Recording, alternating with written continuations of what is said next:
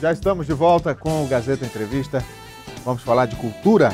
Estou recebendo aqui o Dito Bruzugu, que é um dos integrantes da banda Os Discordantes, e também está conosco o cineasta Sérgio de Carvalho. Olha, o, o cineasta Sérgio de Carvalho foi quem dirigiu o clipe da banda Os Discordantes com a música Hoje de Manhã. Esse clipe, assim que foi lançado, viralizou. Já tem quase 5 mil visualizações no YouTube e a gente vai falar desse assunto, desse sucesso que é a banda Os Discordantes. Boa noite, gente. Boa noite. E aí, qual, qual a sensação de estar viralizando nas redes sociais? É, é, é, legal, né? A gente tem recebido um feedback muito bom, muito bom mesmo. Assim, a gente está muito feliz com, com a resposta do público, com o que a galera está achando da, do, do, do, filme, né?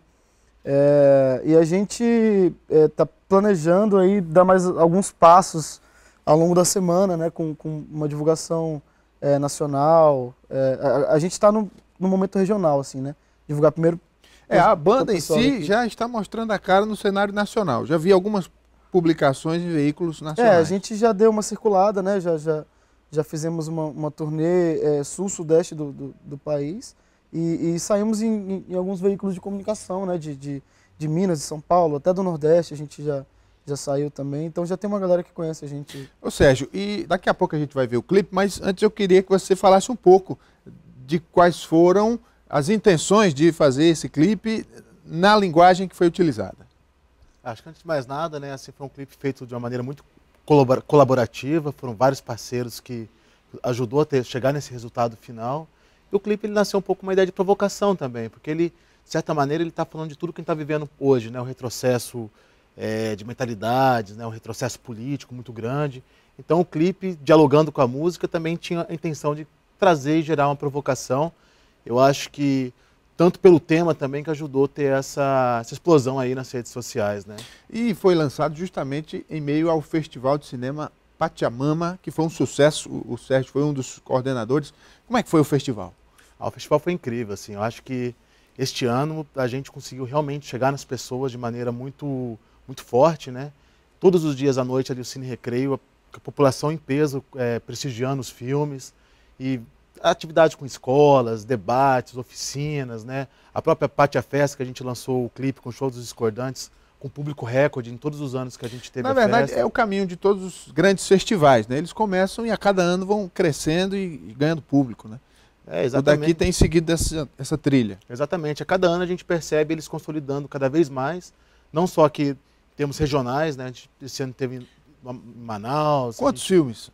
Mais de 80. Foi mais ou menos 85 Muita filmes. coisa, né? É. Para uma produção assim de, de, fronteira, quer dizer, um cinema regional, é muita coisa. É, mas ele não é uma produção regional só. O festival ele recebe filmes de toda a América Latina.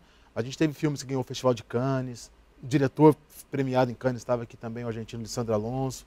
Então, filme agora ganhou o Festival de Tóquio, que é o Nisa da Silveira, que encerrou o festival.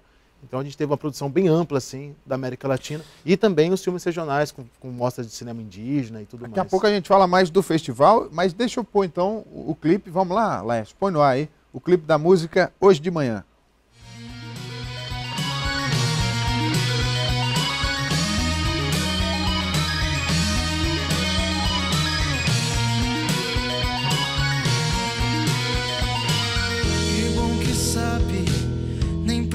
Precisei falar. É uma pena, só posso lamentar.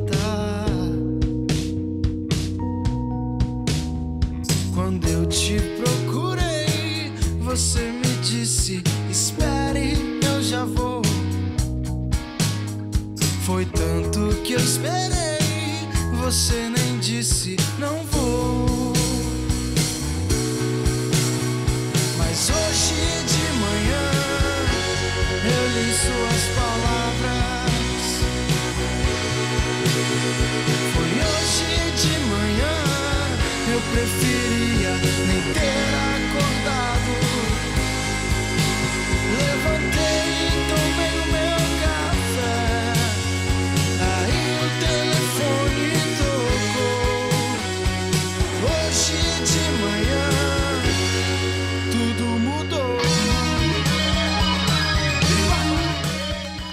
Olha aí um trecho do clipe da música Hoje de Manhã, mas tem um detalhe que a gente vai comentar agora, que é o final desse clipe que revela o sentido da história. É um triângulo amoroso, é um casal gay, dois homens, e uma mulher, que é uma coisa assim, muito nova até, né? Ou seja, a mulher sendo o pivô de uma relação, quando na verdade, às vezes, é, a maioria das vezes é o inverso.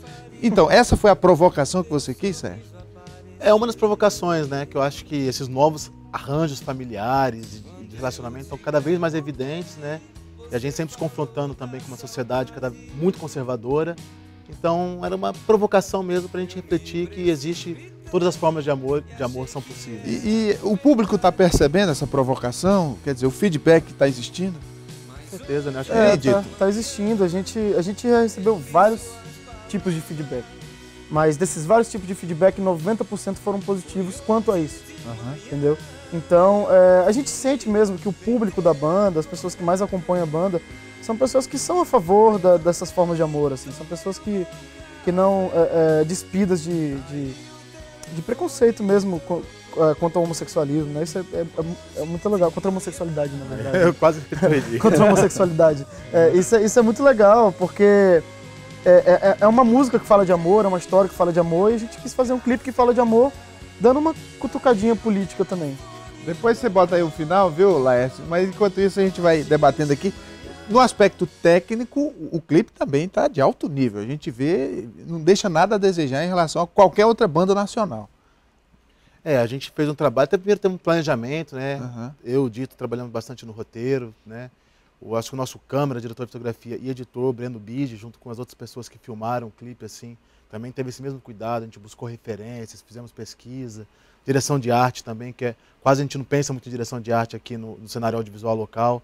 A gente teve a Ana Ferreira aí, que fez uma É super importante. super né? importante. E a qualidade de dos né? atores É, também. a Carla Martins com preparação. São e os atores. que, que é, são profissionais, de fato, a gente já conhece de outros espetáculos, de outros filmes, Uhum. mas que eles interpretam de forma que a gente consegue entender a linguagem sutil, porque um filme não é só palavra, tem a expressão facial, tem a própria trilha musical que diz muito, enfim, é um conjunto, né? É, foi, um foi até um desafio pra eles, assim, porque os três são atores de, de teatro, né? Eles nunca tinham feito nada em frente às câmeras, assim. Mas eu acho que, é, é, pelo fato da gente, na música, a gente é, é, passar muita expressão, acho que isso ajudou, né? O fato de. Eles têm muita expressão, né? Eles, eles carregam a melancolia na hora certa, a alegria na hora certa, e isso foi muito, Esse muito legal. aspecto salta aos olhos da Exatamente. qualidade dos atores. E eu vi ali imagens de um show. Foi um show? Foi um show, vocês? foi um show. A E aí, gente. A gente já estava com esse show marcado quando a gente teve a primeira conversa. E aí a gente pensou em fazer as cenas da banda num show e pensamos qual é o show ideal pra gente fazer. E aquela noite foi no, no Loft Bar. é, queria até agradecer ao Fábio e a André por terem cedido espaço pra gente. É, era um show que seria mais interessante porque era um show inteiramente de música autoral. Em que as pessoas iriam ali para ouvir as músicas das bandas que estariam tocando. E a gente era a atração principal da noite. Então foi um show em que é, deu muita gente que gostava realmente da banda e, e que conheciam as músicas, que can- cantaram as músicas com a gente. Então foi o momento ideal, acho que tudo deu certo. A gente tem acompanhado nos últimos anos algumas bandas que têm se destacado no cenário local e vocês estão seguindo essa mesma trilha. Isso é algo que vocês estão buscando, estão se dedicando, trabalhando para isso? Ou é uma coisa despretensiosa que está ganhando essa proporção? É, não, acho que hoje já é algo que a gente está buscando já. É, tem dois integrantes da banda que trabalham 100% com música. Né? Eu- Somos eu e o Saulo. Né? O Jorge trabalha muito com música, com jornalismo também. E o Érico, que é nosso tecladista, é músico e, e médico. então, mas eu e o Saulo, a gente trabalha só com música. Eu, eu, eu já me dedico bastante aos discordantes, assim, em buscar projetos, em buscar é, fechar shows, vender shows, é, produção, a produção do clipe, produção do próximo disco, que a gente também já está pensando. Então a gente está se dedicando, a gente está querendo tornar é, é, a banda o nosso meio de vida futuramente. Ô Sérgio, a música está aí, dando um bom exemplo. E o nosso cinema, a nossa produção audiovisual, como é que você avalia? Olha, a gente teve uma tarde de cinema criando dentro do Pachamama e foi muito legal assim ver os filmes. A gente passou filmes tanto da velha geração quanto os filmes da nova geração assim. E a gente tem visto muita coisa interessante.